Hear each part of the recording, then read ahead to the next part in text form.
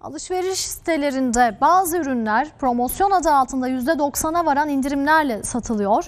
Binlerce tüketici neredeyse bedavaya verilen ürünleri satın almak için bu sitelere akın ediyor. Ancak satış işlemleri bir süre sonra çeşitli gerekçelerle iptal ediliyor. Uzmanlar bunun tüketicileri siteye çekmek için uygulanan basit bir reklam tuzağı olduğunu belirtiyor. Bu şekilde mağdur edilenlerin sayısı her geçen gün artıyor.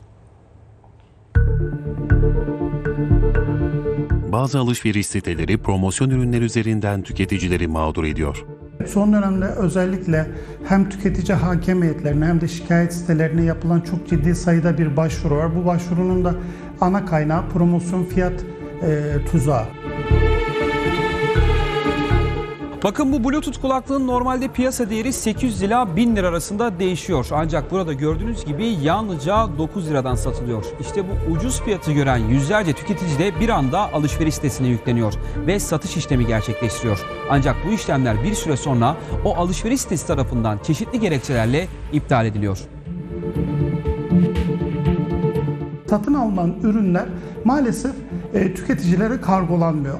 E, bunun karşılığında da işte iki türlü açıklama yapılıyor. Ya ürününüz e, sevk ederken yolda hasar gördü veya işte hatalı fiyatlamadan dolayı e, maalesef ürününüzü gönderemiyoruz şeklinde bir açıklama yapıyorlar. Tüketicinin parasını kredi kartlarına iade ediyorlar. Uzmanlara göre bu tür alışveriş sitelerinin tek amacı var. Ucuz ürün satıyormuş gibi görünerek siteye müşteri çekmek. %99'a yakın bir indirimle e, görüyorsun ür- ürünü ve ürünü hemen satın almak istiyorsunuz. Hatta sadece satın almakla da kalmıyorsunuz. Satın almakla birlikte işte sosyal medya hesabınızla, arkadaşlarınızla, eşinizle, dostunuzla birçok kişiye bunu paylaşıyorsunuz. Ve bu paylaşım bir anda e, binlere, on binlere, yüz binlere erişiyor ve bu paylaşımla beraber site ziyaretçi akınına uğ- uğruyor. Peki şikayet halinde tüketici o ürünü geri alabilir mi? Malın işte misliyle değişimi, bu mümkün değilse e, bedelinin iadesi, işte malda ayıp varsa ayıp oranında indirim söz konusu olduğu için yani tüketici e, illa ben bu ürünü istiyorum dediğinde e, satan firma e, bu ürün elimizde yoktur diyebilir. Hani bu durumda o ürünü alamayıp bedelini alabilir.